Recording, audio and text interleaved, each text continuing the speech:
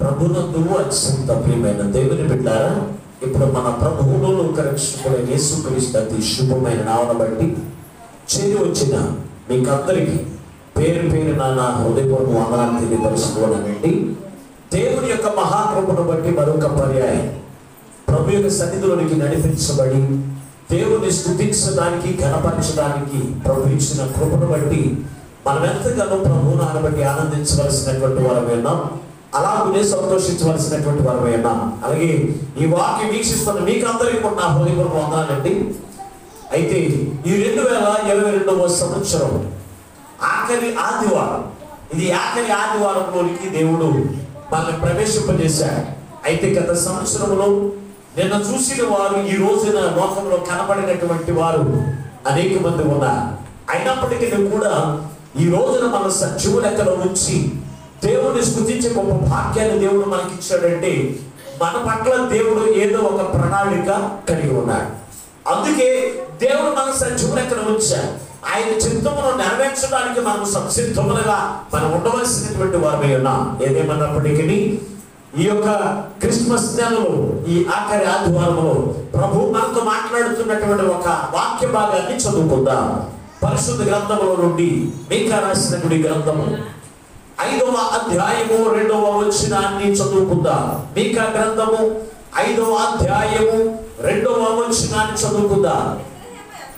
బెత్లహేమ ఎఫ్రత యూదావారి కుటుంబములో నీవు స్వల్ప గ్రామమైనను నా కొరకు ఇశ్రాయేలీయులను నా కొరకు ఇస్రాయేలీలను ఏలబోవువాడు నీలో ఏలబోను వాడు నీలో నుండి వచ్చును. పురాతన కాలము మొదలుకొని శాశ్వత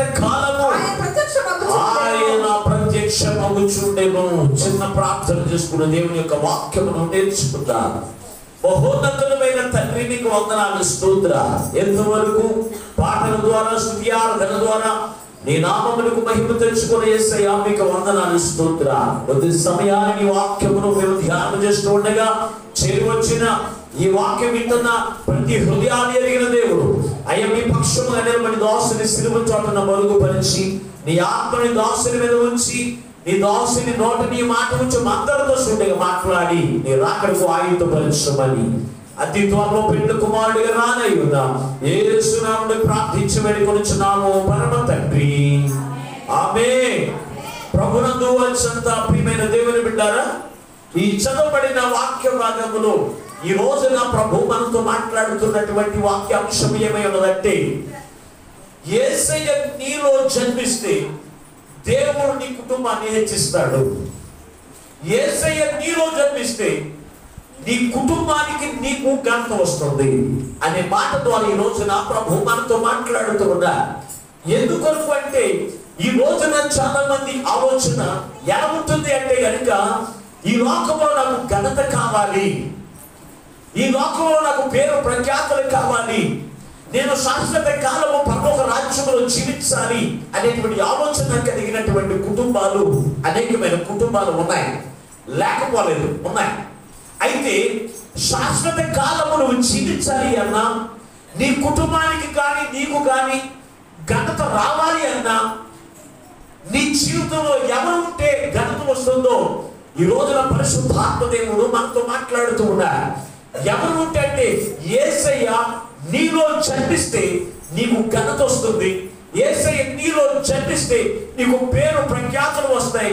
ఏసయ్య నీలో జన్మిస్తే నీ కుటుంబంలో కావచ్చు నీ గ్రామంలో కావచ్చు నీవు ఏ ప్రదేశంలో మారుమూల ప్రాంతంలో ఎన్నిక లేని కుటుంబంలో నీవు ఉన్నా కానీ దేవుడు నిన్ను ఎన్నుకుని ఆయన నీలో జన్మిస్తే కనుక నీ కుటుంబానికి ఘనతను దేవుడు తీసుకువచ్చి పురాతన కాలము మొదలుకొని శాశ్వత కాలము కూడా నీవు క్రీస్తుతో కలిసి ఆనందించగలిగిన జీవితమును పొందుకుంటా ఈ చదవబడిన వాక్య భాగంలో ఈ మేక ప్రవక్త ఏసయ్య పుట్టక మునిపే ఏడు వందల సంవత్సరాల క్రితం రాసినటువంటి మాట ఇది.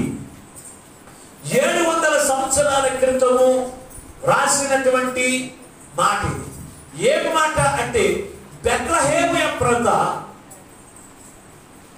అని రాసి ఏమని రాశాడు తెలుసు అంటే యోధావారి కుటుంబంలో నీవు అల్పమైన దానవు.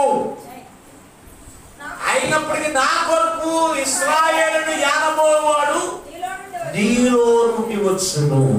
దేవుని బిడ్డలారా అల్పమైన నీ కుటుంబంలో ఎన్నిక లేని నీ కుటుంబంలో నీ జీవితంలో ఏసయ్య జన్మిస్తే నీలో నుండి ఎవరు రావాలి అంటే ఇస్రాయేలు వాడు అంటే లోకరక్షకుడు నీలో నుంచి లోకానికి కనబరిచేటువంటి వారిగా ఉండాలి. క్రిస్మస్ పండుగ జరుపుకుంటున్న దేవుని బిడలారా ఈ క్రిస్మస్ పండుగ అంటే మనం పిండి వంటలు వండుకోవడం కాదు లేకపోతే ఇంటికి రంగులేసుకోవడం కాదు ఇల్లు శుభ్రపరచుకోవడం కాదు. లేకపోతే నూతనమైనటువంటి వస్త్రములు వేసుకుంటేనే క్రిస్మస్ పండుగ అంటే కాదండి. ఎప్పుడు క్రిస్మస్ పండుగ అంటే క్రీస్తు నీలో జన్మించాలి. జన్మించిన క్రీస్తు లోకానికి నువ్వు కనబరచడమే క్రిస్మస్ పండుగ.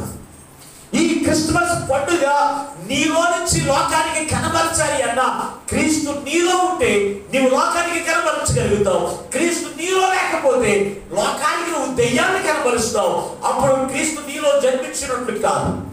బాప్తిసం తీసుకున్నంత మాత్రాన ప్రభు యొక్క శరీరాలు భుజించినంత మాత్రాన నువ్వు క్రీస్తు నీలో జన్మించినట్లు కాదు. మరి ఎప్పుడంటే క్రీస్తు నీలో జన్మించినప్పుడు ఆ క్రీస్తుని నువ్వు లోకానికి కనపరిచినప్పుడే క్రీస్తు నీలో ఉన్నాడు.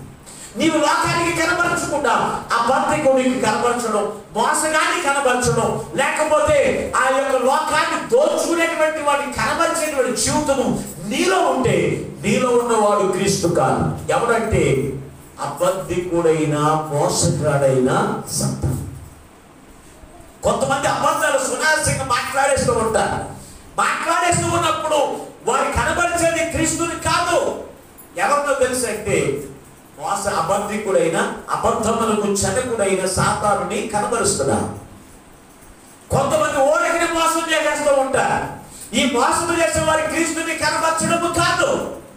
వీడు ఎవరిని కనబడుతున్నారు మోసగాడైన సాతానుని కనపరుస్తున్నారు దేవుని విన్నారా అందుకే ఈ రోజున దేవుడు మనతో మాట్లాడుతున్నాడు. క్రీస్తు నీలో జన్మిస్తే నీవు అల్పమైనటువంటి వారైనా ఎన్నిక లేని వారైనా నీ కుటుంబానికి దేవుడు గంత తీసుకుని వచ్చి శాశ్వత కాలము కూడా జీవింపచేయడానికి ఆయన ఇష్టపడుతూ ఉన్నాడు. దేవుని బిడ్డారా ఆలోచన చేయండి. ఈ బెత్రహేము ఎప్రత అనేటువంటి పదములు ఈ రోజున మనం చూడగలిగా. ఈ చదువుబడిన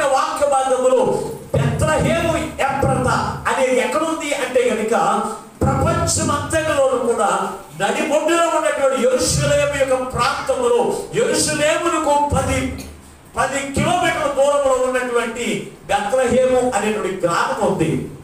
ఆ గ్రామానికి బెత్రహేము అనేటువంటి గ్రామానికి అసలు పేరేంటి తెలుసు అంటే బెత్రహేము గ్రామానికి అసలు పేరేంటి తెలుసు అంటే ఎఫ్రత. అనేటువంటి గ్రామము ఈ ప్రపంచంలో ఎక్కడో ఆ నడిబొడ్డులో ఉన్నటువంటి ఎరుసలేం యొక్క పట్టణానికి ఆ పట్టణంలోనే ఆ మారుమూల ఉన్నటువంటి ఒక గ్రామం ఎఫ్రత అనేటువంటి పట్టణానికి ఆ గ్రామానికి ఈ రోజున ప్రపంచం అంతటికి కూడా తెలియపరచడానికి గల కారణం ఏంటి?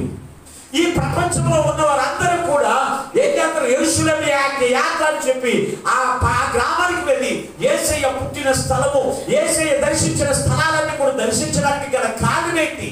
ఆ గ్రామానికి అంత విలువ రావడానికి గల కారణం ఏమిటి అంటే ఆ గ్రామములు ఏసయ్య జన్మించడం ద్వారా ఆ గ్రామానికి అంత ఘనత వచ్చింది. దేవునికి స్తోత్రం. ఒక గ్రామంలోనే ఏసయ్య జన్మిస్తే గ్రామానికి ఘనత వచ్చింది అంటే ఏసయ్య నీలో జన్మిస్తే నీకు ఘనత రాదా? ఏసయ్య నీలో జన్మిస్తే నీకు ఘనత రాదా? నేను బాప్తిసం తీసుకుని ముప్పై సంవత్సరాలు అయింది. నేను బాప్తిసం పొందుకుని నలభై సంవత్సరాలు అయింది. నాకు విలువ లేదు. నన్ను ఎవరు విలువగా చూడట్లేదు. నాకు విలువగా నాతో ఎవరు మాట్లాడట్లేదు. అని అంటున్నాము. క్రీస్తు నీలో జన్మిస్తే నీకు విలువ ఎందుకు రాదు? క్రీస్తు నీలో జన్మిస్తే నీకు విలువ ఎందుకు రాదు? తప్పనిసరిగా విలువ దేవుడు నీకు ఇస్తాడు. ఈ బెత్లహేము యొక్క గ్రామానికి విలువ వచ్చింది. ఈ రోజు క్రీస్తు నీలో జన్మిస్తే క్రీస్తు నీలో జన్మిస్తే జన్మించిన క్రీస్తుని బట్టి నీ గ్రామానికి నీ కుటుంబానికి ఏమొస్తుంది? మంచి ఘనత వస్తుంది. నీ వీధికే గా- పలాని ఘనత వస్తుంది. నీ సంఘానికే మంచి ఘనత వస్తుంది. క్రీస్తు నీలో జన్మిస్తే క్రీస్తు నీలో జన్మించకపోతే నీ సంఘానికి కూడా విలువ ఉండదు. నీ కుటుంబంలో నీకు విలువ ఉండదు. నీ వీధిలో నీకు విలువ ఉండదు. నీ క్రీస్తు నీలో జన్మించాలి. జన్మించిన క్రీస్తుని నీవు లోకానికి కనబరిచేటువంటి వారిగా నీవు. క్రీస్తు నీలో జన్మించకపోతే లోకానికి ఎలా కనబరుస్తావు? క్రీస్తు నీలో జన్మించకుండా నువ్వు అనేకమైన వేల రూపాయలు కొ- కొలది క్రిస్మస్ ఆరాధన చేసిన దానికి అంత కూడా దండగే తప్ప దానికి విలువ లేనటువంటి క్రిస్మస్ అవుతుంది దేవుని బిడ్డారా ఆలోచన చేయండి. క్రీస్తు నీ యొక్క ఒక వ్యత్రహేమైనటువంటి అప్రతారి గ్రామమును ఏసయ్య పుడితే ఆ గ్రామము తెలవనటువంటి ఆ యొక్క మండలము కానీ ఊరు కానీ ఏ ఊరు కూడా లేదు. ఏ ఊర్లో వెళ్ళి అడిగినా బెత్లహేమ ఏంటో ఆ- బెత్రహేము ఎవరిది అంటే? ఏసయ్య పుట్టిన ఊరు అంటారు. ఏసయ్య పుట్టిన ఊరు అని చెప్తూ ఉంటారు. పలాన కుమార్తె ఎవరంటే? ఏసయ్య పుట్టిన కుమార్తె. పలాన కుమారుడు ఎవరు? ఏసయ్య పుట్టిన కుమారుడు. అది కనబరిచిన జీవితమును నీవు జీవించాలి. నీవు జీవించాలి దేవుని బిడ్డారా. ఏసయ్య జన్మించిన ఆ గ్రామంలో ఏసయ్య తన ప్రేమను వెల్లడిపరిచాడు. తన ప్రేమను తన క్రియల రూపముగా తన ప్రవర్తన రూపముగా తన ఆలోచన రూపముగా అతని కథనే ఏసయ్య కనబరుచుకున్నాడు కనుక ఆ గ్రామానికి అంత పేరు వచ్చింది దేవుని బిడ్డారా ఆలోచన చేయండి. ఆలోచన చేయండి. ఈ బెత్లహేముడి గ్రామంలో ఎవరున్నారు అంటే ఆ గ్రామంలో యోసేపు యోధా వంశములో పుట్టినటువంటి యోసేపు అలాగే మరియా అనేటువంటి వారు ఉన్నారు బెత్లహేములో మరియా యోసేపు తప్ప ఇంకా పలానా వాళ్ళు తెలిసింది నాకు అన్న వాళ్ళు ఎవరైనా చెప్పండి? ఎక్కడ? ఎవరన్నా ఉన్నారు ఎవరన్నా బెత్రహేము గ్రామంలో మరియా యోసేపు తప్ప ఇంకా నాకు పలానోడు తెలుసు అన్నవాడు ఎవరన్నా ఉన్నారా ఇంకెవరు లేరా? ఎవరు లేరా? ఎవరు లేరా? తెలుసుకోండి. చెప్పండి. నయోమి! ఏ ఊరవుడిది బెత్లహేము. నయోమిది ఏ ఊరు అనుకుంటున్నారు? బోయాజు. నాకు తెలిసిందండి మా ఫ్రెండ్స్ అందరూ?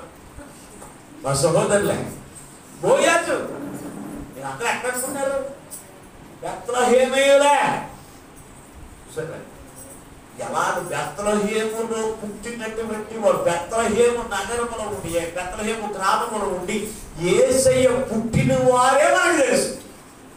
ఏసయ్య పుట్టిన వారే తెలుసు. ఏసయ్య వారిలో పుట్టకపోతే పుట్టనటువంటి వారు ఎవరు మనకి? పరిశుద్ధ గ్రంథంలో రాయబడలేదు. వారి పేరు మనకి ఎక్కడ కూడా తెలియదు బెత్లహేము గ్రామము ప్రపంచంలో నడిబొడ్డులో ఉన్నటువంటి ఆ యెరూషలేము యొక్క ప్రాంతానికి పట్టణానికి సమీపముగా ఎక్కడో వారు మూలలో ఉన్నటువంటి బెత్లహేము యొక్క గ్రామంలో ఏసయ్య ఎవరిలో అయితే పుట్టాడో వారందరూ మనకి తెలుసు. కానీ ఎవరు తెలియదు ఏసయ్యను ఎవరైతే అంగీకరించలేదో ఏసయ్యను ఎవరైతే ధరించుకోలేదో ఏసయ్య ఎవరు హృదయంలో జన్మించలేదో వారెవరో మనకి వారెవరో మనకి ఏసయ్య జన్మించిన ఆ యొక్క స్థలములో ఆ స్థలానికి విలువ వచ్చింది. ఆ స్థలంలో ఉన్నటువంటి మరియ యోసేపు కూడా విలువ వచ్చింది. ఈ రోజున మరి ఎవరు? యోసేపు ఎవరంటే ఏసయ్య తల్లిదండ్రులు అంటున్నారు. గల కారణం ఏంటి అంటే ఈ మరియ హృదయంలో ఎవరు జన్మించారు అంటే ఏసయ్య జన్మించారు దేవుని అందుకే నా ఆత్మ నా రక్షకుడైన ఏసయ్యను బట్టి ఆనందించుచున్నది. నా ఆత్మ నా రక్షకుడైన ఏసయ్యను గనపరుచుచున్నది అని మరియ చెప్పగలిగింది దేవుని బిడ్డ ఎందుకో తెలుసా? ఏసయ్య ఎవరు హృదయంలో జన్మించాడు అంటే మరియ హృదయంలో జన్మించాడు. అందుకే మరియకు అంత ఘనత వచ్చింది. ఏసయ్య నామము తెలుసుకోగని మనకి ఎవరు గుర్తుకొస్తున్నారు తెలుసా? మరియ గుర్తుకొస్తుంది. మరియా గుర్తుకొస్తుంది కదా కానీ మీరు తెలుసండి? ఏసయ్య ఆమె గర్భాన్ని ధరించింది. ఆమె హృదయం ఆయన జన్మించాడు కనుక ఆ మరియకు యోసేపుకు కూడా మంచి విలువ వచ్చింది ఆ కుటుంబంలో జన్మించడం ద్వారా. ఈ రోజున నీ కుటుంబంలో ఏసయ్య జన్మిస్తే ఏసయ్య జన్మిస్తే నీకు విలువ ఎందుకు రాదు? నీ హృదయం ఏసయ్య జన్మిస్తే నీ కుటుంబంలో నీకు విలువ ఎందుకు ఉండదు? ఏసై నీ జీవితంలో జన్మిస్తే నువ్వు అల్పమైన దాని ఎందుకు అవుతావు? విలువైన దాని విలువైన వాడు అవ్వాలి కదా? ఈ పెట్రహేము గ్రామానికి ఏసయ్య జన్మించక మునుపు ఇక్కడ ఏమని రాశాడు అంటే బెత్లహేము ఎఫ్రత యోగా వారి కుటుంబంలో నీవు అల్పమైన దానవు అన. అంటే అల్పమైనది అంటే ఏంటి? చాలా చిన్న కుటుంబం చిన్న గ్రామం. ఎవరు ఎన్నిక చేయలేనటువంటి గ్రామం అది ఎన్నిక చేయలేనటువంటి కుటుంబం అది. ఆ కుటుంబంలో ఏసయ్య జన్మిస్తే ఇక్కడేమో అల్పమైన దానము అన్నారు ఇదే పరిశుద్ధ గ్రంథంలో మత్తయి రాసిన సువార్త రెండవ అధ్యాయము నాలుగవ వచ్చినని ఒకసారి చదువుకుందాం. మత్తయి రాసిన సువార్త రెండవ అధ్యాయము నాలుగవ వచ్చిన కాబట్టి రాజు ప్రధాన ప్రధాన యాజకులను ప్రజల నుండి శాస్త్రులను అందరినీ సమకూర్చి క్రీస్తు ఎక్కడ పుట్టినని వారిని అడిగారు. అందుకు వారు యోదయ ఏలయనగా యాభై అనగా యోదయ దేశపు నువ్వు యోధా ప్రధానులలో ఎంత మాత్రము అల్పమైన దానవు నావు ఎంతకేమన్నాడు? స్వల్ప గ్రామం స్వల్ప గ్రామము అల్పమైనదా? మరి ఏసై జన్మించిన తర్వాత ఏసై జన్మించిన తర్వాత ఎవరు మాట్లాడుతున్నారు తెలుసా? బెత్లహేములో ఉన్నటువంటి వారే యోదయ దేశంలో ఉన్నవారే. ఎవరు? రాజు దగ్గర ఉన్నటువంటి పండితులైన వారు. రాజు దగ్గర ఉన్నటువంటి శాస్త్రులైనటువంటి వారు. రాజు దగ్గర ఉన్నటువంటి ప్రధాన యాజకులైన వారు. వారు మాట్లాడుతున్న రాజు అడుగుతూ ఉన్నాడు. ఇదిగో ఏసయ్య ఎక్కడ జన్మించాడు? యూదుల రాజుగా పుట్టిన వాడు ఎక్కడ? అంటే వీళ్ళందరూ అంటున్నారు. వీళ్ళందరూ పెద్దలందరూ కూడా అంటున్నారు. ప్రవచనములు ఎరిగినటువంటి వారు వారు ఏమంటున్నారు తెలుసా? వారు ఏమంటున్నారు తెలుసా? యోలియా బెత్లహేము ఎఫ్రత నీవు ఎంత మాత్రమును అల్పమైన వారికి క్రీస్తు జన్మించిన వారి యొక్క విలువ తెలుస్తుంది. క్రీస్తు జన్మించిన వారు క్రీస్తు ఎవరు హృదయంలో జన్మిస్తారు వారు అల్పమైన వారు కాదు. వారు బలహీనులు కాదు. వారు ఎంత మాత్రం ఎందుకు పనికిరాని వారు కాదు. క్రీస్తు ఎవరు హృదయంలో జన్మించలేదో వారు అల్పమైన వారే. వారు అల్పమైన వారే. వారు క్రీస్తు జన్మించలేని వారు దేవుడు నిలబడలేదు. క్రీస్తు జన్మించలేని వారు ఏ మాత్రము కూడా ప్రతిదానికి కూడా ఏం చేస్తారో తెలుసా? దేవుడు నుంచి తొలగిపోయేటువంటి లక్షణం కలిగినటువంటి వారు ఎవరుంటారు? వారికి ఎంత మాత్రం కూడా విలువ లేదు. వారికి ఎంత మాత్రం కూడా విలువ లేదు. కానీ వీళ్ళందరూ పెద్దలందరూ కూడా అంటున్నారు రాజు దగ్గర మాట్లాడుతున్నారు రాజా క్రీస్తు ఎక్కడ పుట్టాడంటారేంటి? యూదియా బెత్లహేము అనేటువంటి గ్రామంలో ఏసై పుట్టాడు. యూదియా బెత్లహేము గ్రామమా ఎప్రత నువ్వు ఎంత మాత్రము కూడా యూదా వారిలో నువ్వు అల్పమైన నీలో నుండి వచ్చును. అని ప్రవచనం రాశాను కదా. అది ఎప్పుడైతే రాజుకు తెలియవచ్చారో రాజు అంటున్నాడు ఏసయ్య పుట్టిన స్థలము గ్రహించి మీరు తెలుసుకున్న దగ్గరికి వచ్చి తెలియవచ్చండి మేము కూడా ఆయనను ఆరాధిస్తామట దేవునికి స్తోత్ర. క్రీస్తు నీలో జన్మిస్తే క్రీస్తు నీలో రాకానికి కనబరచగలిగితే అనేకులు నిన్ను బట్టి ఏసయ్యను ఆరాధించడానికి వస్తారు నీలో దెయ్యాన్ని కనబరిస్తే ఎవ్వరూ దేవుడు రారు.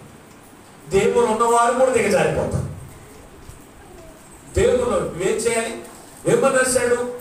బెత్లహేము ఎప్పుడంత యోధా వారిలో నువ్వు ఎంత మాత్రం కూడా ఆత్మమైన దాని కాదు. ఇస్రాయల్ యానబో వాడు నీలో ఉండి అంటే మనలోంచి నుంచి ఎవరు రావాలి? ఎవరు రావాలి?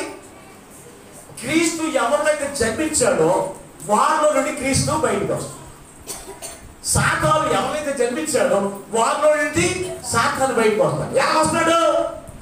అబద్ధాలతో మోసాలతో పాపపు క్రియలతో పాప యొక్క ఉద్దేశాలతో మోసాలతో వారు కనబరుస్తూనే ఉంటారు. ఇదిగో నాలో ఉన్నవాడు క్రీస్తు కాదు దెయ్యమే. నాలో ఉన్నవాడు క్రీస్తు కాదు మోసగాడే.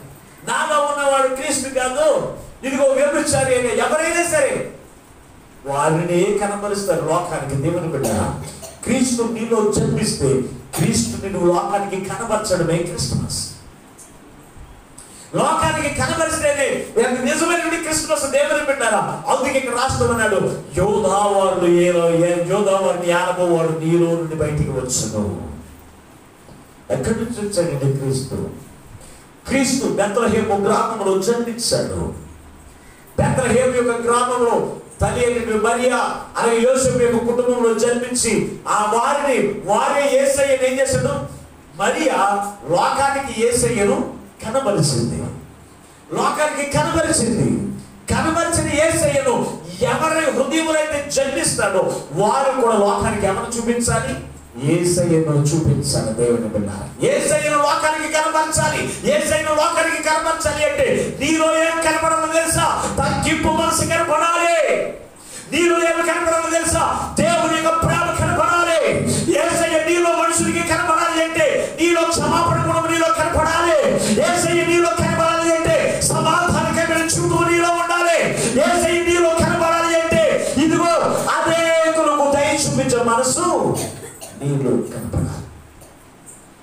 క్రీస్తు నీలో ఉన్నట్టు అంతేకాని కోపాలతో తాపాలతో కయ్యను కనబరిశాడు. అతడు కోపంతో కనబరిశాడు. అతను క్రీస్తు లేడు. సాతాను ఉన్నాడు కనుక అతను చూపించింది. సాతానుని ఎవరికి కనబరిచాడు. అక్కడ ఉన్నటువంటి సంఖ్య కాపరికి కావచ్చు. అక్కడ ఉన్నటువంటి వారికి కూడా కనబరిచాడు కోపంతో అయితే ఏసయ్య కనబరిచింది ఆయన దూషించిన వారిని దూషించాడా? లేదు. ఆయన కొరత కొట్టిన వారిని కొట్టాడా? లేదు. ఆయన ప్రేమ చూపిస్తూనే ఉన్నాడు. ఆయన చూపించిన ప్రేమ మరి నీలో కనబడట్లేదంటే నీలో క్రీస్తు జన్మించలేదు. క్రీస్తు నీలో జన్మించలేదు కనుక నీ కుటుంబంలో నీకు విలువ లేదు. నీ ఇరుగు పొరుగు వారి దగ్గర నీకు విలువ లేదు. నీ సంఘంలో నీకు విలువ లేదు.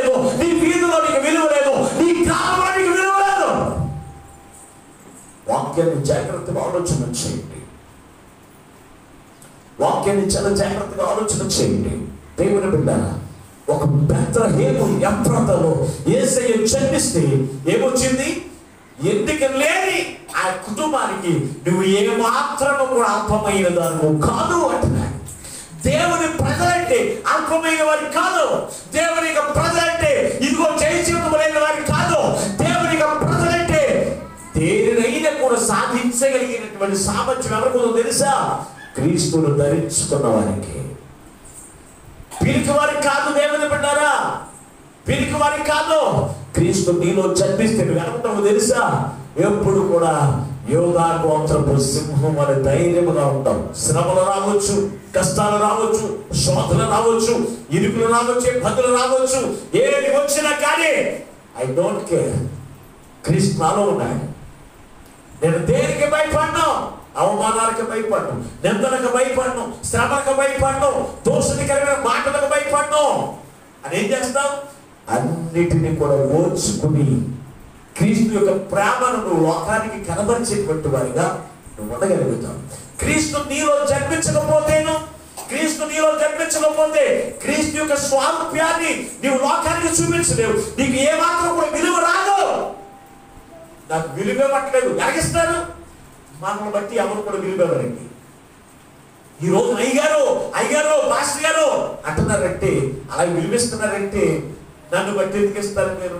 నేను ధరించుకున్న క్రీస్తుని బట్టి. క్రీస్తు నాలో లేకపోతే మీరు నాకు విలువిస్తారా? విలువిస్తారా?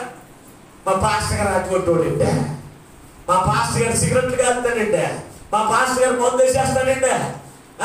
మా పాస్టర్ గారు వ్యభిచారాలు మానంటే అటువంటి జీవితం ఉంటే నీ పాస్టర్ గారికి విలువ ఉంటుందా? మాట్లాడరే. విలువ అనేది ఎవరిని బట్టి వస్తుందో తెలుసా? క్రీస్తు ఎవరి హృదయంలో ఉంటాడో వారికి విలువ వస్తుంది. క్రీస్తు ఎవరి హృదయంలో జీవిస్తాడో వారికే ఘనత వస్తుంది. నీవేమో అబంధాలు ఆడతావు నీవేమో దోషణకరమైన మాటలు మాట్లాడతావు. ఎదుటి వారు అంత మాట కూడా రోషముతోను వేదనతోను కోపాలతో తాపాలతో దోకాలన్నీ కూడా ఇరిసేసుకుని దెబ్బలాగా కాడేసి జీవితం జీవిస్తూ ఉంటే మనకి విలువ ఎక్కడి నుంచి వస్తుందండి? రాదండి. క్రీస్తు ప్రేమ నీలో కనపడాలి. క్రీస్తు నీలో కనపడాలి. నీవు లోకానికి క్రీస్తుని చూపించాలి దెయ్యాన్ని కాదు దెయ్యాన్ని నీలో నుంచి నువ్వు చూపిస్తే నీకు విలువ రాదు. క్రీస్తుని చూపిస్తేనే నీకు విలువ వస్తుంది. దెయ్యాలు చూపిస్తే మనకు అవమానకరమైన జీవితం విలువలేనటువంటి జీవితం బలహీనత కలిగినటువంటి జీవితమును మనం జీవించేటువంటి వారికి ఉంటాము కనుక ఈ రోజున అల్పమైన నీ కుటుంబం. నీ కుటుంబంలో ఇదిగో నీవు తప్ప నీకు ఎవరు కూడా తోడు లేనటువంటి జీవితం నువ్వు జీవిస్తున్నావేమో నీ కుటుంబం విలువలేనిదై ఉండొచ్చు. నీ కుటుంబం ఎన్నిక కుటుంబం అయి ఉండొచ్చు. ఏది ఏమైనప్పటికీ క్రీస్తు నీలో జన్మిస్తే నీకు దేవుడు గొప్ప విలువను తీసుకుని వస్తాడు. పరిశుద్ధ గ్రంథములో ఋతు అనేటువంటి కుమార్తె ఉంది ఆమె మోయాబీరాలు మోయాబీరాలు అంటే అన్యులు విగ్రహారాధన కలిగినటువంటి జీవితములు జీవించిన ఈ ఋతు ఆమె పేరు జీవ గ్రంథములో రాయబడడానికి గల కారణం ఏంటి? పరిశుద్ధ గ్రంథములో తేటగా ఉన్న చదవండి ఒకసారి ఋతు గ్రంథము. నాలుగవ అధ్యాయం. ఋతు గ్రంథం నాలుగవ అధ్యాయం. పదకొండవ వచ్చిన చదువుకుంటారు అందుకు అందుకు పొడద్వారము నుండిన ఏంటంట పొడద్వారమున నుండిన పురద్వారం నుండిన ప్రజలందరూ పెద్దలను మేము సాక్షులము. యెహోవా నీ ఇంటికి వచ్చిన ఆ స్త్రీని ఇస్రాయేలీల వంశములో రాయను పోలిన గాక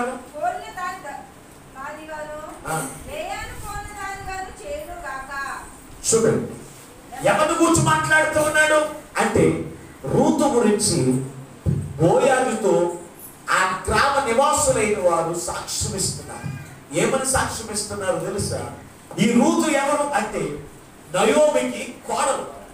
నయోమి తన భర్త ఇద్దరు కూడా బెత్రహేం యొక్క గ్రామస్తులు ఈ బెత్రహేం యొక్క గ్రామంలో కరువు వస్తుందని చెప్పి ఆ గ్రామాన్ని విడిచి మోయాబు దేశంలోకి వెళ్ళి ఇరువురు కుమారులు కూడా కోల్పోయారు. కుమారుడు వివాహం అయింది మోయాబు స్త్రీలతో.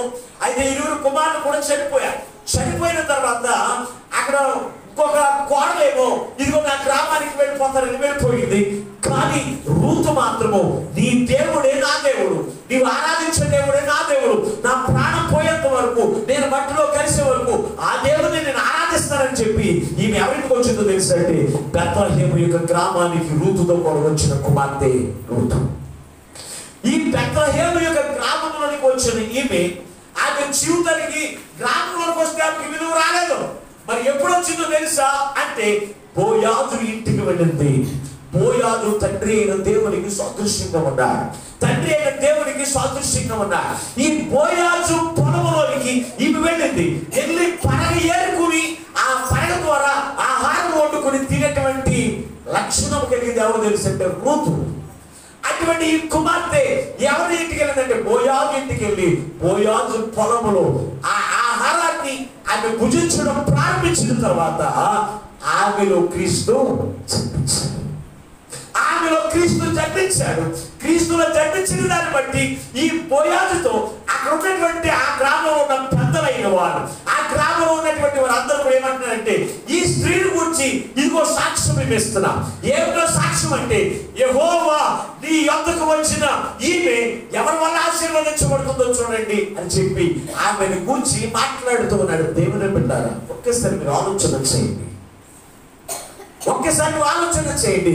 ఈ రోజున నువ్వు పరగ ఏరుకుని నీ కుటుంబంలో ఉన్న ఆకలి తీర్చుకుంటున్నావేమో. లేకపోతే ఎవరో పెడుతున్న ఆహారం ద్వారా నీ ఆకలి తీర్చుకుంటున్నావేమో. లేకపోతే కూలి పని చేసుకుని నీ కుటుంబాన్ని పోషించుకుంటున్నావేమో. ఉద్యోగం చేసుకుని నీ కుటుంబాన్ని పోషించుకుంటున్నావేమో. జీవనోపాధి నిమిత్తము ఏ పని చేసి నీ కుటుంబాన్ని పోషించుకుంటున్నా కానీ బోయాజు పొలమనబడిన దేవునికి సన్నిధికి వెళ్ళి దేవునికి సన్నిధిలో ఆయన వాక్యాహారం చేత నీవేం చేయాలి? తృప్తిపరచబడాలి. ఆయన వాక్యము చేత క్రీస్తు నీలో జన్మింప చేసుకోవాలి. జన్మించు జన్మింప చేసుకుంటేనే నీకు విలువ వస్తుంది. వాక్యం అర్థమవుతుందా? మస్టర్ గారు దేవునికి స్తోత్రం. హల్లెలూయా. నువ్వు దేవునికి సన్నిధికి వెళ్ళి ఆయన వాక్యాహారం చేత నీవు క్రీస్తు నీలో జన్మింప చేసుకుంటేనే నీకు విలువ వస్తుంది. కొంతమంది ఎంతకాలం దేవునికి సన్నిధికి వెళ్ళినా క్రీస్తు వారిలో కనపడ్డారు ఎందుకంటారు? అంటే వాక్యమును ఆ వాక్యాహారమును హృదయంలో అన్వయించుకునే లక్షణం లేకపోతేనే క్రీస్తు వారిలో ఎంత కాలం వెళ్ళినా వాళ్ళు క్రీస్తును లోకానికి చూపించలేరు. దేవుని వింటారా ఒక్కసారి మీరు పరిశీలన చేయండి. ఒక పరగ ఏరుకున్నటువంటి రూతు పేరు జీవగ్రంథములు ఎందుకు రాయబడిందో తెలుసా? ఆమెలో ఏసయ్య జన్మించడం ద్వారా ఆమె దేవుని ఇంటికి వెళ్ళింది. దేవుని అక్కడ. అయ్యో ఎవరో కాదు మోర్దికే ఎవరో కాదండి బోయాల్సి. బోయాల్సి ఎవరో కాదు? ఎవరు తెలుసా? నా కుమారి అని సంబోధిస్తున్నాడు ఇక్కడ. అంటే నా కుమారి అన్నాడు అంటే ఆయన ఎవరై ఉన్నాడు ఆమెకి? తండ్రి. దేవుని బిడవారా ఒక్కసారి పరిశ్రమ చేయండి బోయాసు పడము దేవుని సన్నిధికి సాదృశ్యంగా ఉంది. దేవుని సన్నిధికి వచ్చిన నీవు ఎక్కడెక్కడో పరగ ఏరుకున్నటువంటి ఎక్కడెక్కడో వదిలేసినటువంటి ఆ వాక్యముని వినే ఆమె క్రీస్తు ఆమెలో జన్మించాడు నువ్వు రోజు దేవునికి సన్నిధికి వస్తున్నావు. నువ్వు పరగ ఎత్తుకునే వాళ్ళు కాదు స్వతంత్రంగా దేవునికి సన్నిధికి వచ్చి వాక్యం వింటున్నారు శ్రద్ధగా. అక్కడక్కడ రాయకపోయిన మాట మీరు వినట్లేదు. వింటున్నారా? ఈ రోజున ఇళ్ళ దగ్గర ఉన్న అనేక మంది అక్కడక్కడ పొడి పొడి మాటలు వినే రక్షణ పొందిన వారు అనేక మంది కుటుంబాలు ఉన్నాయి. ఈ రోజు అనేక మంది దేవునికి సన్నిధికి వెళ్ళి ఎన్ని సంవత్సరాలు వెళ్ళినా క్రీస్తును ధరించుకోని కుటుంబాలు కూడా అనేకమైన కుటుంబాలు లేకపోలేదు ఉన్నాయి. దేవుని బిడ్డారా ఒక్కసారి పరిశీలన చేయండి. అందుకే రూతు ఆ కుటుంబానికి విలువ రావడానికి గల కారణము రూతు పేరు జీవ గ్రంథంలో రాయబడి శాశ్వత కాలము మొదలుకుని శాశ్వత కాలము వరకు ఆమె పేరు జీవ గ్రంథంలో రాయబడి గల కారణం తెలుసా? క్రీస్తుని ఆమె లోకానికి కనబరిచింది. రూతు ద్వారా ఎవరుంటే ఎవరు అంటే బోయాలు బోయాజు ద్వారా ఏషియా. ఏషియా ద్వారా దావిదు. దావిదు యొక్క కుమారుడు. దావిదు కుమారుడు ద్వారా ఎవరు వచ్చారు? లోకానికి రక్షకుడు కనబరిచారు. వారందరూ కూడా ఏసైన లోకానికి కనపరుస్తూనే ఉన్నారు. మరి నీ ద్వారా ఏసైన లోకానికి కనపరిస్తే నీ తర్వాత నీ బిడ్డలు లోకానికి ఏసైని చూపించగలుగుతారు. ఇదిగో నీవే లోకానికి ఏసైని చూపించకపోతే ఏసైన ప్రాణను లోకానికి చూపించకపోతే నీ బిడ్డలు ఏమైనా దేశైన లోకానికి చూపించగలుగుతారా? నువ్వేమో దెయ్యాలు చూపిస్తావా నీ బిడ్డలకు ఏ శైలు చూపించగలిగిన ఎలా చూపిస్తారు ఆలోచన చేయండి ప్రియమైనటువంటి వాళ్ళారా. ఆలోచన చేయండి. దావీదు దావీదు అంతగా హెచ్చించబడడానికి అంతగా అతను ఘనపరచడానికి అంత ఘనత అతనికి రావడానికి గల కారణం ఏంటి తెలుసా? ఏసయ్య అతని హృదయంలో జన్మించబడాలని పరిశుద్ధ గ్రంథంలో తేటగా చూడండి ఒకసారి. యోహన సువార్త. యోహన సువార్త ఏడవ అధ్యాయం నలభై రెండవ వచ్చిన యోహాను సువార్త ఏడవ అధ్యాయం నలభై రెండవ వచ్చు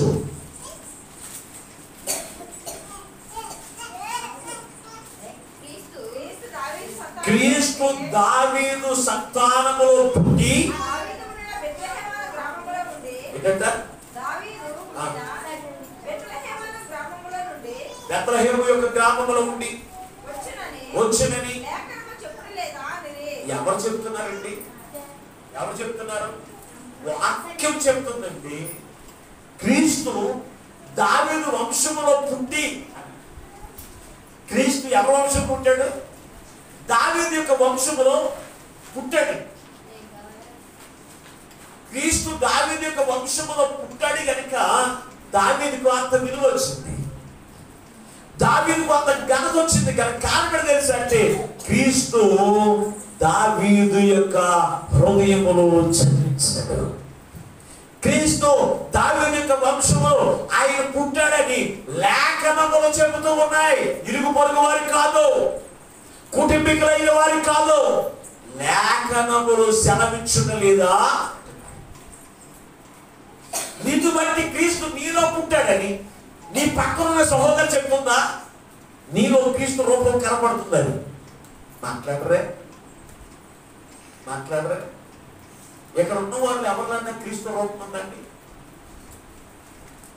ఇదిగో పలాన సహోదరులు క్రీస్తు రూపం కనపడుతుంది అన్న వాళ్ళు ఇక్కడ ఉన్న వాళ్ళు ఎవరో ఒకరు చూపించండి నాకు. దెయ్యా రూపాలు కనపడుతున్నాయి అన్న వాళ్ళు చూపించండి.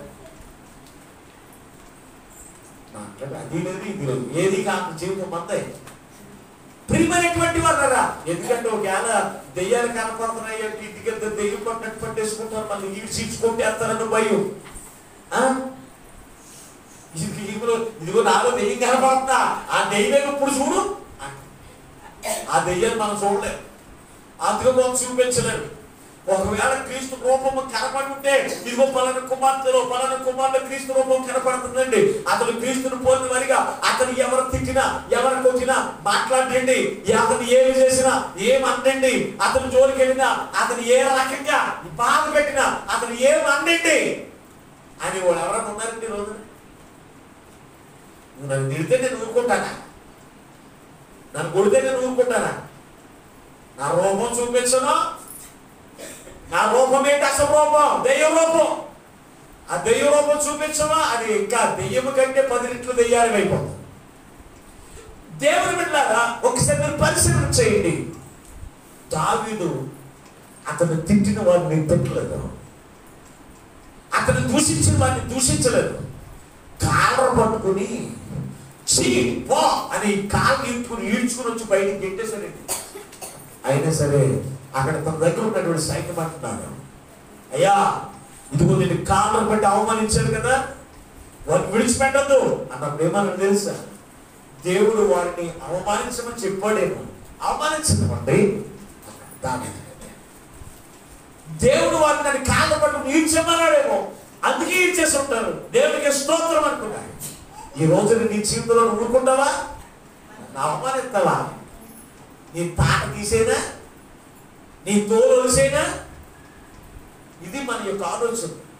అందుకే క్రీస్తు పుట్టిన వారికి ఎటువంటి జీవితం ఉంటుందో తెలుసా అంటే క్షమించే మనసు. క్రీస్తు పుట్టిన వారికి తగ్గింపు మనసు. వారిలో కనపడుతూ ఉంటుంది దేవుని బిడ్డ. క్రీస్తు పుట్టాడని మళ్ళా మనం ఎలా తెలుసుకుంటాం? అంటే పరిశుద్ధ గ్రంథంలో తేటగా రాయించాడు. చదవను ఒకసారి. ఇరవై గ్రంథము ఇరిమియా గ్రంథము ముప్పై అధ్యాయం.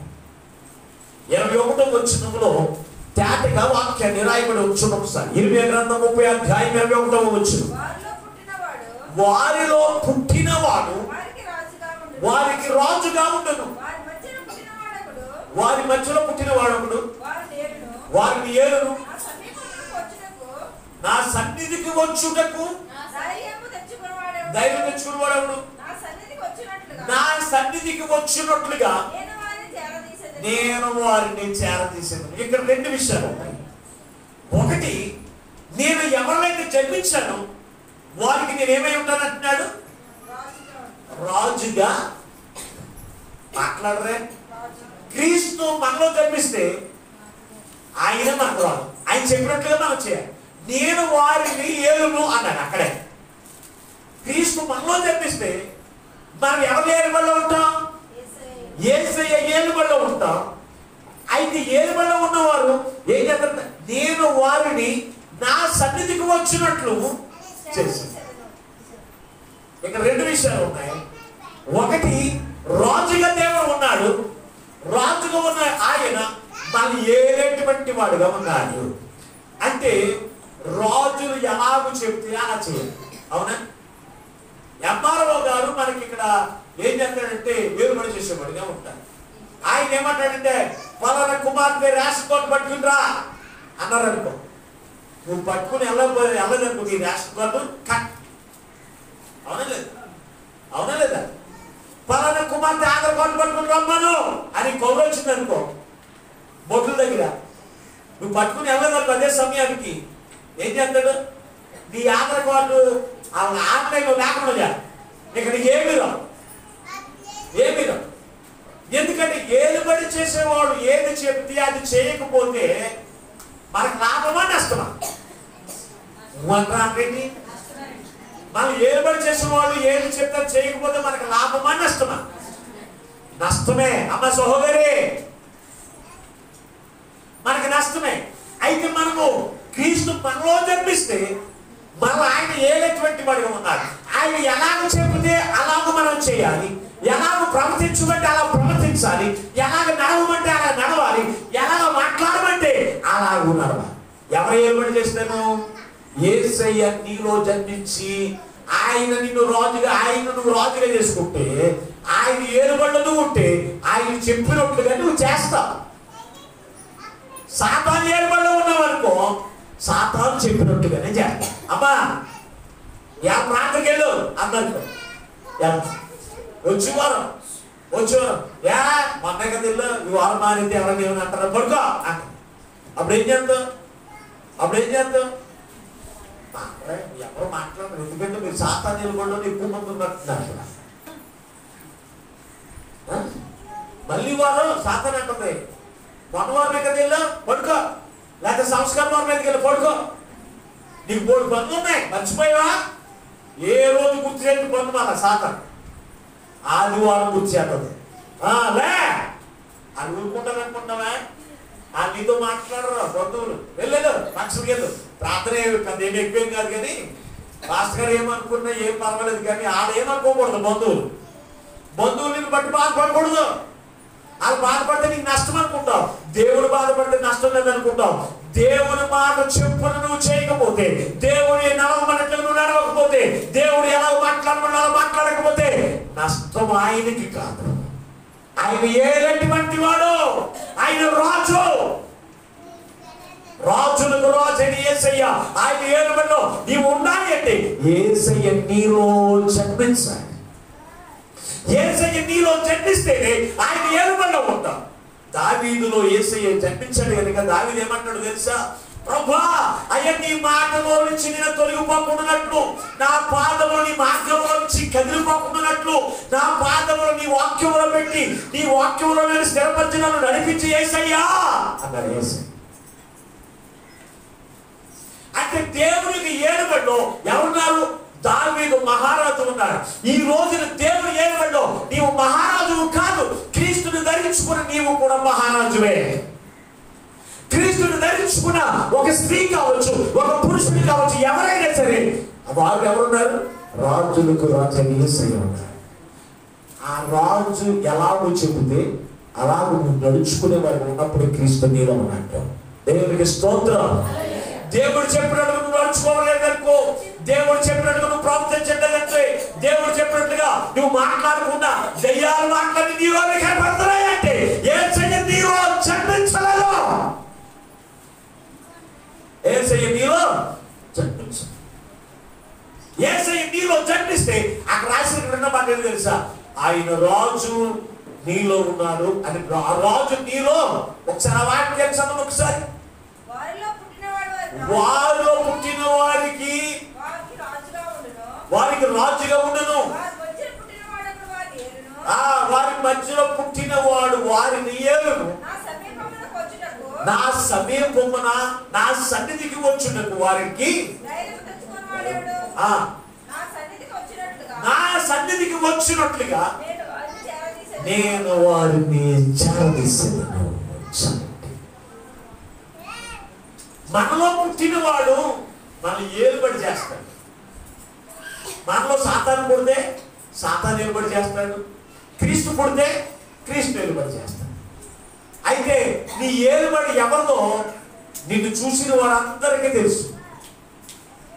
నీకు తప్ప. నువ్వు లోకానికి ఎవరు చూపిస్తున్నావో అది నీకు తెలీదు. నిన్ను చూసిన వారందరికీ కూడా నిన్ను గమనిస్తావు నువ్వు సాతాను చూపిస్తున్నావా లోకానికి? లేకపోతే ఏ శైలు చూపిస్తున్నావా అనే సంగతి ఎవరు తెలుసుకుంటారు తెలుసా? లోకంలో ఉన్న వారందరూ అనుగ్రహించగలుగుతారు దేవుని బిడ్డారా. ఎలాగో అంటే నువ్వు దేవుని చెంత ఏలుబడిలో ఉన్నట్లయితే దేవుడు చెప్పినట్టుగా నడుచుకుంటాం ప్రవర్తిస్తాం మాట్లాడతాం అందుని బట్టి నువ్వు క్రీస్తు ఏలుబడిలోనే ఉన్నావు. క్రీస్తు నీలో జన్మించాడు. రెండోది ఎలా తెలుసుకుంటారు అంటే దేవుని యొక్క సన్నిధికి వారు వచ్చినట్లు నేను వారిని ఆకర్షించేదను అన్నాడు అంటే క్రీస్తు జన్మించిన వారు దేవునికి సన్నిధికి రావడానికి ఆసక్తి కలిగిన వారిగా ఉంటారు. క్రీస్తు జన్మించిన ప్రతి హృదయము కూడా దేవునికి సన్నిధికి నేను ఎప్పుడు వెళ్ళుదునా? ఆయన ప్రసన్నతను నేను ఎప్పుడు చూసేదనా? ఆయన మాటలను ఎప్పుడు విందునా? ఆ మాటల ద్వారా నేను ఎప్పుడు ఆనందించేదనా?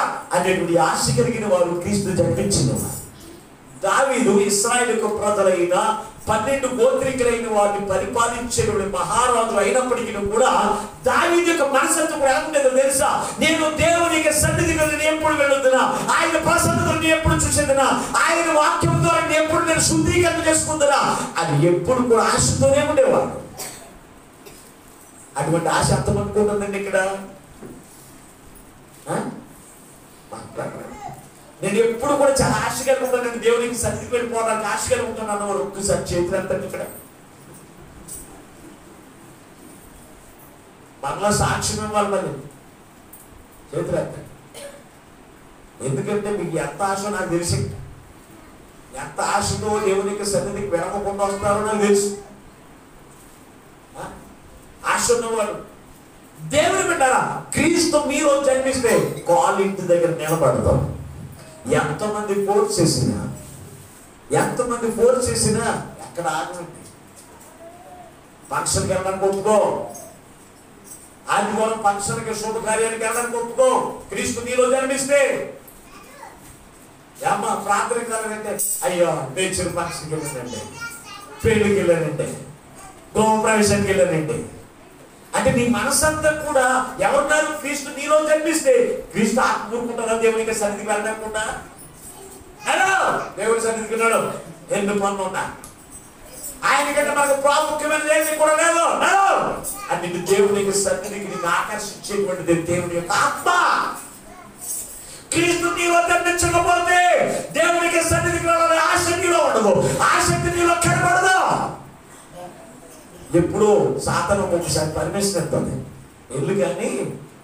ఏదో ఇని అన్నట్టు ఏదో ఇది అన్నట్టు భాషణ గారు చెప్తా చెప్తూ ఉంటాడు బలగుద్దునట్టు ఆయన మాటలన్నీ కూడా బుర్రలోకి రానవుకో మనసులోకి రానవుకో అని నేను బోధించిన తర్వాత దేవుని మందిరానికి వస్తాను వచ్చిన తర్వాత ఎంతో మంది అలాగే చూస్తూ ఉంటాను ఆటోమేటిక్గా ఎంతో చెత్త ఉంటాను ఊరిపోతూ ఒక మాట వింటాం మధ్యలో వెళ్ళిపోతుంది వస్తుంది మళ్ళా. మాస్టర్ గారి యొక్క గంతింపుకి మధ్యలో ఒకసారి వెళ్ళిపోతుంది కాదు మళ్ళీ ఒకసారి. మళ్ళీ ఎంతో అనుకుంటావు ముక్కంట మళ్ళా ఊపేస్తా ఉంటాడు సాతాన్. నీకు జ్వాల పాట పాడేస్తాను ఉంటాడు ఇంటికి వెళ్ళిన ఏం చేయడం నాకు కాదు ఇక అటువంటిప్పుడు ఇక నీలో వాక్యం ఎక్కడ ఉంటుంది? క్రీస్తు నీలో ఎలా ఉండగలుగుతాడు దేవుని బిడ్డారా? ఆలోచన చేయండి. క్రీస్తు నీలో జన్మించాడు అని ఎలా తెలుసుకున్నాడు తెలుసు అంటే ఇక్కడ మీకు రెండు లక్షణాలు చూపించాడు ఒకటి క్రీస్తుని నువ్వు రాజుగా చేసుకోవాలి. అంటే ఆయన అధికారి అని చెప్పినట్టు మనం చేయాలి. ఆయన నడుచుకోమంటే మనం నడుచుకోవాలి. ఆయన ఏది చేయమంటే అలా చేయాలి. ఆయన భయపడాలి అధికారికే. అంతేకాదు ఆయన ఏలుబడి ఆయన ఏలుబడి నేను ఉండాలి. ఆయన ఎలా చెప్తాడో నేను అప్పుడే నాకు దీవెన. దావీదు రాజు దేవుడిగా ఏలుబడిలో ఉన్నాడు. దేవుడు చెప్పినట్టుగా అతను చేశాడు. అతని జీవితం ఏమైనా పాడైపోయిందా? అతని జీవితం ఏమైనా నాశనం అయిపోయిందా లేదు కదా. ముందు రెండు గోత్రాలకి రాజు అయ్యాడు. తర్వాత పన్నెండు గోత్రాలకు ఒక రాజు దేవుడు చేయలేదా? మరి ఈ రోజు నీ జీవితం ఎందుకు పనికిరాని వాడికి దేవుడు ఎందుకు ఉంచుతాడు నిన్ను? క్రీస్తు నీలో కనిపిస్తే క్రీస్తు నీలో జన్మిస్తే నీకు ఘనత వస్తుంది విలువ వస్తుంది శాశ్వత కాలం నువ్వు జీవించగలుగుతావు. క్రీస్తు నీలో జన్మించకపోతే ఉన్న విలువ పోతుంది. నీ జీవితంలో వదిలిపోవడదు ఆశీర్వాదం కనపడదు శాశ్వత కాలం కూడా నీవు జీవించదు క్రీస్తు నీలో జీవి జన్మిస్తే కనుక మరొక లక్షణం మీలో కనపడుతుంది. ఆది కాండము. నలభై తొమ్మిదవ అధ్యాయం. ఆది కాండము నలభై తొమ్మిదవ అధ్యాయము. పదవ వచ్చిన కూడా చదువుకుందా. ఆది కాండము నలభై తొమ్మిదవ అధ్యాయము పదవ వచ్చిన శిలోహు వచ్చే వరకు యోధాయత్తు నుండి దండము తొలగదు. యోధా నుండి దండము అతని కాళ్ళ మధ్య నుండి రాజధానం తొలగదు. ఏంటంటే? ప్రజలు అతనికి ఏంటంట ప్రజలు అతనికి ఎవరికి విధేయులు ఉంటారు? విధేయత అంటే లోబడేటువంటి క్రీస్తు ఎవరి హృదయంలో జన్మిస్తారో వారిలో నుంచి రాజదండము తొలగదంటే ఆయన అధికారం నుంచి తొలగిపోవాలి. ఆయన చెప్పినట్లుగా చేయకుండా ఉండలేదు అటువంటి వారంట దేవునికి విధేయులై ఉంటారు. దేవుడు చెప్పినట్టుగా చేస్తారు. దేవుడు చెప్పినట్టుగా నడుచుకుంటారు. దేవుడు చెప్పినట్టుగా ప్రవర్తించేటువంటి వారు ఉన్నారు క్రీస్తు జన్మించిన వారు. క్రీస్తు హృదయంలో జన్మించిన వారు దేవుని మాటకు విధేయులై ఉండరు. ఇస్రాయలిక ప్రజలందరికీ కూడా దేవుడు రాజుగా ఉన్నారు. ఆయన ఏర్పడ ఉన్నారు. ఆయన పరిపాలన ఉన్నారు. ఉన్నటువంటి వారు కొంతకాలం బాగానే ఉన్నారు. కొంతకాలం అయిన తర్వాత ఏమన్నారు తెలుసా? రాజుగా మాకు ఏసీ ఉంది కానీ ఎవరు కావాలి మాకు రాజు చేయండి అన్న మమ్మల్ని పరిపాలించడానికి ఒక రాజు చేయండి అన్న అప్పుడే సౌలు రాజుని దేవుడు వారికి రాజుగా ఇచ్చాడు. సౌలు రాజు వారిని నల్లులను నలిపినట్లుగా నడపడం ప్రారంభించాడు. దేవుని బిడ్డారా ఒక్కసారి ఆలోచన చేయండి. దేవుని రాజుగా చేసుకుంటే దేవునికి ఏలుబడ ఉంటే దేవుని జీవితము నాశనము కాదు. నీ జీవితము శ్రమల పాలు కాదు. నీ జీవితము అపరితమైన జీవితము కాదు. ఎప్పుడో తెలుసా?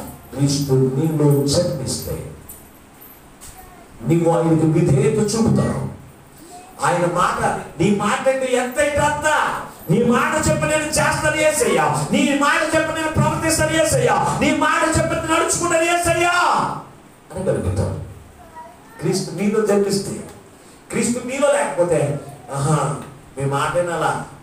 పాస్టర్ గారు మాట వినాలా? లేకపోతే ఊరు కూడా లేకపోతే ప్రార్థన రానివడా మానేది ఇంకో ప్రార్థనకి వెళ్తాను. ఇటువంటి మూర్ఖ హృదయంలో లేకపోలేదు లోకములో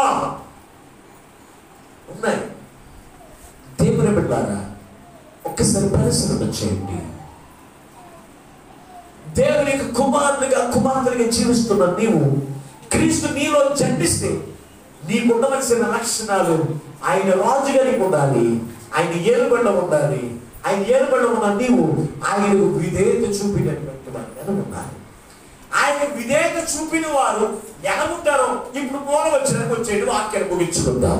ఇది మీకు గ్రంథం ఐదవ అధ్యాయము నాలుగవ వచ్చిన చదువుకుని ముగించుకుందాం. మీకు గ్రంథము ఆయన నిలిచి ఆయన నిలిచి యెహోవాను పొంది యహోవా బలము పొంది. తన దేవుడైన యెహోవా. యహోవా. నామ మహత్యమును మహించమును బట్టి తన మందను వేపును కాగా వారు నిలుతురు. ఏం చేశాడు ఇక్కడ అంటే ఒకటి ఆయన రాజుగా చేసుకోవాలి. క్రీస్తు జన్మించిన వారు. క్రీస్తు ఎవరో యొక్క హృదయంలో జన్మిస్తారు. ఏసై రాజుగా చేసుకుంటారు? ఆయన ఉంటారు. అంతేకాదు ఆయన సన్నిధికి ఆకర్షితులుగా ఉంటారు. అంతేకాదు దేవునికి విధేయత చూపుతారు అని ఇందాక మనం చదివాం. ఇప్పుడు చదవబడిన వాక్య భాగంలో వారు బలము పొందిన వారై ఉండాలి. వారు బలము పొందిన వారై వారు దేవుని సన్నిధిలో నిలిచిన వారై ఉండాలి. యహోవా నామ ఘనత కొరకు అని రాశాడు. యహో మహత్యమును ఆయన ఘనతను వారు లోకానికి కనబరిచే వారిగా ఉండాలి అంటే దేవులో నిలిచేటువంటి వారిగా ఉండాలి. దేవులో బలము పొందిన వారిగా ఉండాలి. ఉప్పంటే రాలిపోయేవారు కనుక కాదు చాలా మంది దేవుడు ఉంటారు. క్రీస్తులో నిలబడతారు. నిలబడినప్పుడు చిన్న శ్రమ వస్తే దేవుడు వచ్చి తొలగిపోతారు. యామ ప్రాంతానికి రాలేదంటే బాగోలేదండి ఏమ ప్రార్థనకి రాలేదంటే ఈ ఇంట్లో కుటుంబంలో బాగోలేదండి యామ ప్రార్థనకి బాగాలేదంటే తలకాయ ఎంత తిప్పేస్తుందండి. ఏమ ప్రార్థనకి రాలేదండి కాలు చేతులు లాగేస్తున్నాయండి. దేవుని విన్నారా నీవు భగవంతునిగా ఉండాలని దేవుడు కోరుకుంటే నీవు సాతానుడు ధరించుకుని క్రీస్తు క్రీస్తు నీలో జన్మించవలసిన నీ హృదయాన్ని సాతానికి ఇచ్చి సాతాను నీ హృదయంలో జన్మింపజేసుకుని ఎందుకు బలహీనత బతుకు? క్రిస్మస్ ఈ నెలను క్రీస్తు మనందరితో సూటిగా మాట్లాడుతున్నాడు. ఒక అల్పమైన స్వల్పమైన గ్రామమైన బెత్రహేము గ్రామములు ఏసయ్య జన్మిస్తే ఆ గ్రామము ఏసయ్య జన్మించాలని ఈ రోజున ప్రపంచం అందరికీ తెలిసింది. ఏసయ్య నీలో జన్మించాలని ఆయన నామాన్ని లోకానికి కనబరచగలుగుతున్నావా? ఏసయ్య నీలో జన్మించాలని నీవు క్రీస్తులో స్థిరంగా నిలబడగలుగుతున్నావా? ఏసయ్య నీలో జన్మించాలని ఆయన చెప్పిన మాట చెప్పు నువ్వు చేస్తున్నావా? క్రీస్తు నీలో జన్మించాలని ఆయన సన్నిధికి ఆకర్షితులుగా ప్రార్థన కూడికలకు మారకుండా రాగలుగుతున్నావా? పరిశ్రమ చేయి అప్పుడే క్రీస్తు నీలో జన్మించింది అంతేకాని నేను బాప్తీసం తీసుకున్నానండి క్రీస్తు నాదనే ఉన్నాడండి. ఏసై నన్ను నిద్రలేపేస్తాడండి ఓ సముద్రం చెప్తుందండి నూటికి పది రూపాయల వడ్డీకి ఇస్తుందా? నూటికి పది రూపాయల వడ్డీకి ఇస్తుంది. అలాగే ఇక మరి వ్యాపారాలు చేస్తూ ఉంటారు చేసిన ఏమని చెప్తుందో తెలిసిన నా దగ్గరికి వచ్చి? అయ్యాడు ఏసై నన్ను లేపేస్తాడు ఇంక పొద్దున్నని. ఆయన నా తండ్రి తండ్రి పిల్లలు పెడతాడు నన్ను రోజున. అమ్మా లేగో ప్రార్థన చేయి అక్కడ నన్ను. ఆయన నేను సూటిగా మాట్లాడుకుంటామంట ఇప్పుడు రోజు మాట్లాడకపోతే ఏంటి అక్కడ ఇప్పుడు మారుతుందనే మాట్లాడుతున్నాడు ఆయన. అందరూ కూడా పలకరించండి ఆయన. అందరూ పలకరించాడు అనుకుంటారా? ఎవరైతే పాపము జీవితం జీవిస్తారు ఎవరైతే రోత కలిగిన జీవితం జీవిస్తారు ఎవరు హృదయంలో వేసి జన్మించలేదో వారికి పైకి కనపడతారు వారికి ఎక్కడ బయట కనపడతారు ఏసయ్య హృదయంలో జన్మిస్తే ఏసయ్యను మనం లోకానికి చూపించగలుగుతాం. అప్పుడు ఏసయ్య బయట ఉండి నిన్ను పలకరించడా? ఏసయ్య నిన్ను బయట ఉండి పలకరించడా? నిన్ను దర్శించడం. ఎందుకంటే ఏసయ్య నీలో ఉన్నాడు. ఏసయ్య నీలో లేరు అని తెలియడానికి ఏసయ్యని రోజు పలకరించాడంటే ఆయన నీ హృదయంలో చేర్చుకుంటావు నీ పాపం జీవితం అంతా కూడా బయటికి ఎంటేస్తావా నిన్ను పలకరిస్తూనే ఉంటాడు. చాలా మంది పాస్టర్ పడుకున్న చంపేటో తెలుసా? దేవుడు నాతోనే మాట్లాడతాడండి. ఎక్కువ నేను పాస్టర్లోనే చూశాను. ఈ పాస్టర్లో మరి ఎలాగయ్యారు నాకు ఎవరికని నేను అనుకున్న దేవుడు మాట్లాడతాడంట. ఇంట్లోకి గదిలోకి వెళ్ళి ప్రార్థన చేసి వచ్చేస్తా ఉంటారు. ఎవరిలాగా? విలాము ప్రవక్త గదిలోకి వెళ్ళి ప్రార్థన చేసి వచ్చేటట్టు చెప్తారు విశ్వాసం కూడా ఆ దగ్గరికి వెళ్తారండి. ఎందుకంటే దేవుడు మాట్లాడుతున్నాడు నా గురించి అని చెప్పాడు సోదంతా చెప్తారు కదా.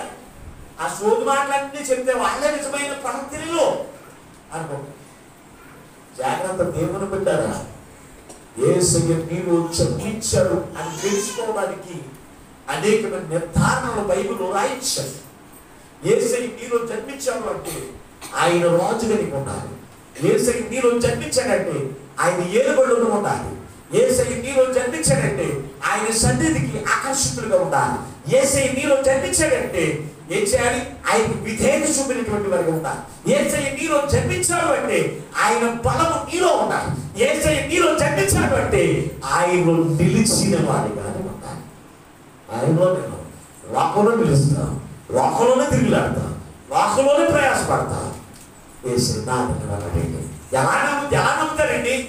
ఎలా చూస్తారు నీలో వేసే లోకం? కనుక దేవుని బిడ్డాల ఈ క్రిస్మస్ దానిలో క్రీస్తు నీలో జన్మించాలని విలువలేని నీ కుటుంబాన్ని విలువలేని నీ బ్రతుకు ఎన్నిక లేని నీ కుటుంబానికి ఎందుకు చేసి ఆయన విలువనిచ్చి బలమనిచ్చి ఆయనకి శక్తితో నేను నింపి పురాతన కాలము మొదలుకొని శాశ్వత కాలము. ఆయనతో కలిసి జీవింప చేయడానికి ఏసయ్య నీలో జన్మించడానికి నిన్ను తాకుతూ ఉన్నాడు. నిన్ను తట్టుచుకున్నాడు సకల విధములుగా తట్టుచు ఉన్నాడు.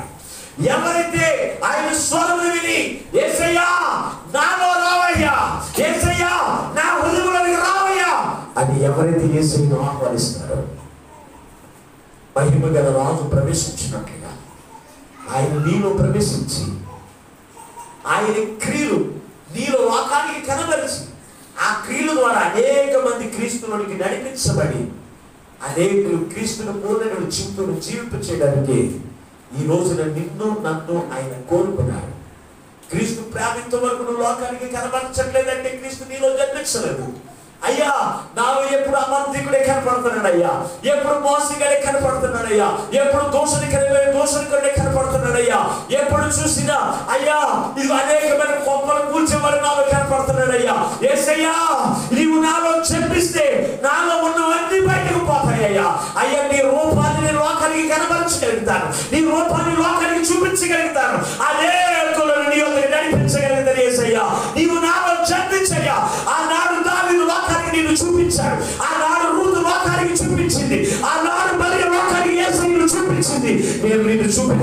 చూపించలేకపోతున్నానయ్యా ఈ రోజు నువ్వు నాలో జన్మించు నేను నాలో నుంచి ఏసయ్యా నిన్ను లోకానికి నేను చూపిస్తానయ్యా అని ఎంతైతే తీర్మానం చేసుకుంటారో అటువంటి వాళ్ళందరికీ క్రీస్తు వారి హృదయంలో జన్మించి ఆయన లోకానికి కనబరిచి ఆయన ప్రేమను లోకము తెలుసుకుని అనేకులు క్రీస్తు యొక్క ప్రేమను జీవించే కృపను గంట చేసి ఆయనే మహిమ పొందను గాక. ఆమె ప్రార్థన చేసుకుందాం. మహోన్నతుల మీద దేవానికి వందనయ్యా ఇంతవరకు మీ విలువైన మాటలు మాకు గుర్తించారు. ఇంతమంది మాటలు ఏ బిడ్డలు కూడా వ్యర్థముగా విడిచిపెట్టుకున్నారు ఆయన వారి హృదయంలో ఉద్ధరించండి. నీరికట్టు ఫలింపచేయండి క్రీస్తు నాలో జన్మించి ఉంటే నేను ఆయన విధేయత చూపుతాను. క్రీస్తు నాలో జన్మి- జన్మించి ఉంటే నేను ఆయనకి లోబడతాను. క్రీస్తు నాలో జన్మించి ఉంటే ఆయన సన్నిధికి ఆకర్షితుడిగా ఉంటాను ఆయన రాజుగా నాకు ఉంటాడయ్యా ఆయన బలముని పొందుకుంటానయ్యా ఆయన నిలిచిపోతానని ఎంతైతే తీర్మానం చేసుకుంటున్నారు. అంటే పురాతన కాలము మొదలుకుని శాశ్వత కాలము జీవించేటువంటి నిత్య రాజ్యము. మీరు అనుగ్రహింపజేసి నేను రాకడము పండుగను ఆయుధపరచమని అతిత్వంలో రాజుగా రాజుగా రానయ్యున్న యుద్ధ గోత్రపు సింహమై యేసు పరిశుద్ధమైన ప్రార్థించి వెళ్ళికొనుచున్నాము పరమ తండ్రి. ఆమె దేవుడు మిమ్మల్ని అందరిని దీవించును గాక. ఆమె మీకు మరొకసారి నా హృదయపూర్వక వందనాలు.